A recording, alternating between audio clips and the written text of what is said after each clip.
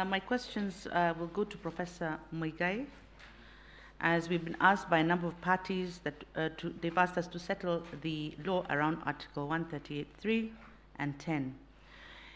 In your submissions, you suggested that the term commission can be used in multiple senses.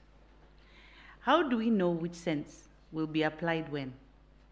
As a former Attorney General, perhaps uh, you can point out to us whether it is in regulations, it is in the law, but how do we know which sense is applied when?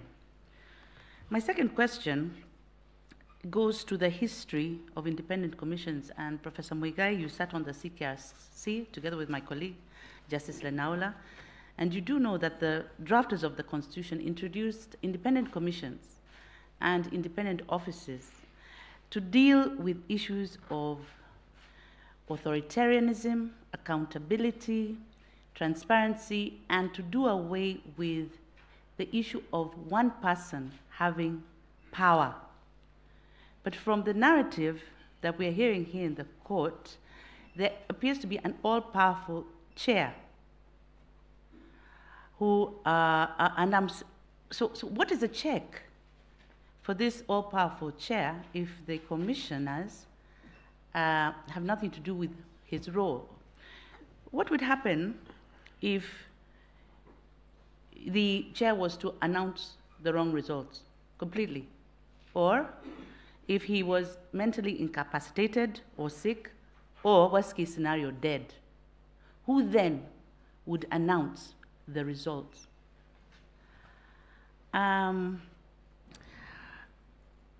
and um, what is the role of the other commissioners? I think this is bothering me, especially because it seems to me that um, your client and the IEBC suggest that the chairperson works with the CEO, and I feel a bit concerned. The CEO is not vetted by Parliament.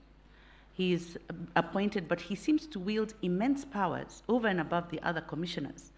I cannot imagine that that could have been the intention of the drafters of the Constitution. So, what do, role do these commissioners actually do? Because it, it, it, hasn't come clearly. Or, for example, if one commissioner says he's in charge of ICT, what does that mean? Does it mean he's in charge of ICT until the presidential election? Then he's not. What does it mean? What is the role of these commissioners? Uh, and, and I'm asking this question more towards trying to understand the leadership and the management in the commission as opposed to the management of the presidential election.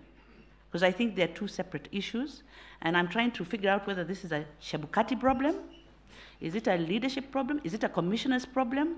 What's this problem we're seeing? I'm trying to understand that, and I'd like to hear that from you. Thank you. Uh, one more